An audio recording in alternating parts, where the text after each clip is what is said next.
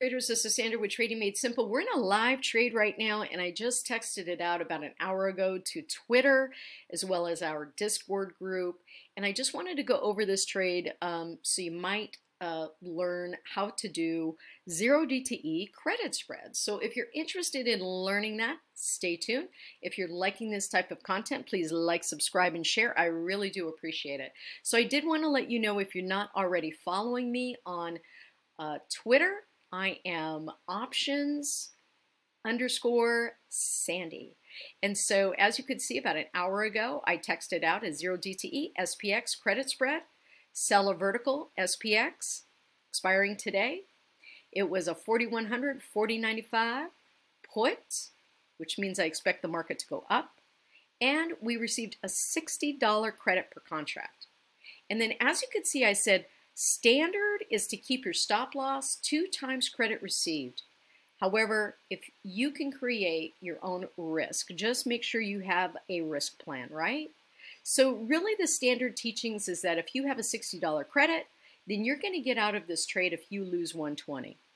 And so the reason is is because on a trade like this, if it goes against you and you don't have a stop loss, you can lose a lot more, right? Than, than just your $60 because this is a credit spread.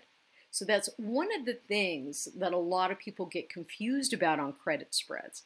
And so let me show you what that looks like on, um, let's see, our chart. So at around uh, 9.30 my time, which is around uh, 12.30 Eastern Standard Time is when we got into the trade right here.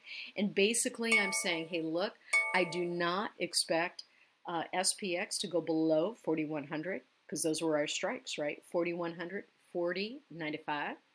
And so um, if we take a look at it on the analyze graph, you could see that um, basically we have price right here, and we're saying, hey, we are uh, going to close anywhere uh, on this side of this line right here. That is what that is saying, the blue graph. And the pink graph is saying, hey, that's time decay. As time expires, this is going to rise. And so as long as that gold line stays on that side of the graph, then you earn your entire credit. So that is one way, as well as um, actually automating your trade is how you could protect yourself from risk. Knowing what your risk plan is before you get into any trade is so important.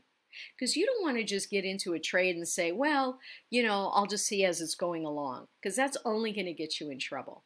But if you have this either automated or you know exactly what your trade plan is, then you know you're going to know exactly what to do if it goes against you. And that is how you trade a credit spread strategy. So if you want to learn more, my contact is in the description below, and we'll see you in the next video and or trade.